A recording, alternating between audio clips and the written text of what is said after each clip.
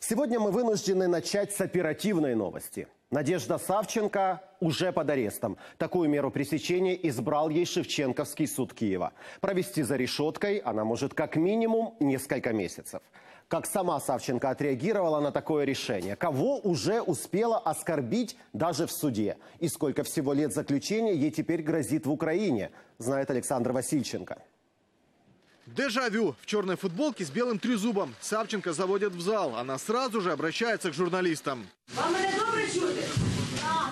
Через несколько минут начинается заседание. Первое ходатайство о переводе Надежды Савченко из-за решетки на скамью к адвокатам. Судья идет в совещательную комнату, а журналисты просят Савченко прокомментировать видео, которое накануне генпрокурор продемонстрировал в парламенте. Подивіться ще раз уважніше. Ми подивилися, прокоментуйте. Для чого ви зустрічалися? Грубо, ну. Я звільнення полонених. Я вже неодноразово це говорила. После перерыва Савченко выпускают в зал суда. Далее слово дают военным прокурорам. Сторона обвинения уверена, нардеп может влиять на ход следствия, уничтожить вещдоки и убежать за границу. Поэтому попросили самую строгую меру пресечения. Прошу застосувати до Савченко Надії Вікторівни запобіжний захід у вигляді тримання під вартою, не визначаючи розмір застави на 60 діб. Затем слово берут не адвокаты, а сама Савченко. И уже традиционно объявляет голодовку. Я виходжу на голодовку з сьогоднішнього дня.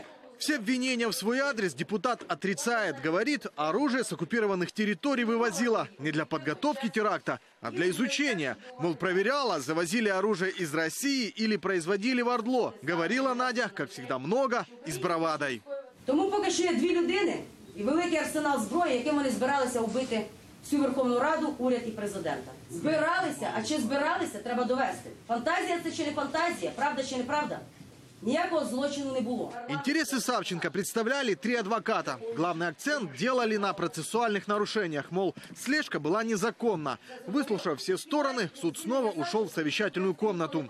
Думать над мерой пресечения. А сама Надежда паузу использует для выступления перед камерами. Использует зачитанные спичи о недовольстве властью и патриотизме. И грубо ругается с прокурором. Спустя несколько часов, ближе к 7 вечера, выходит судья. Его решение – арест на 60 суток без права внесения залога. По статьям, которые инкриминируют Савченко, грозит высшая мера – 15 лет тюрьмы или пожизненное заключение с конфискацией имущества. Александр Васильченко, Геннадий Вивденко, Сергей Ведмидь. Подробности недели, телеканал «Интер».